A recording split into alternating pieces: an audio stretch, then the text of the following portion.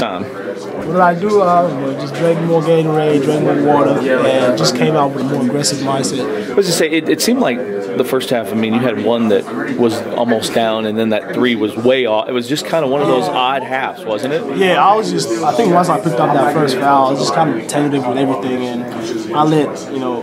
I, just, I, I kind of let my offense take my defense a little bit because I, I reached in and it was a bad foul. And, and when you pick up two fouls, you, you, you got cheer on your teammates, and then mentally you got prepared for the second half because that's the biggest thing. You know, when you're in foul trouble mentally, coming back in the second half, you know, it's one of the toughest things to bounce back. So I just focused on rebounding and just being aggressive. And the transition too. I mean, that's what their coach was doing. Coach Christian was saying that when you get on that break, that's that kind of gets you going, doesn't it? Yeah, yeah. I love to go up and down. That's, that's my game, and you know, if I see an open space, I'm always gonna make. Most of the time, I'm gonna make the right play in transition.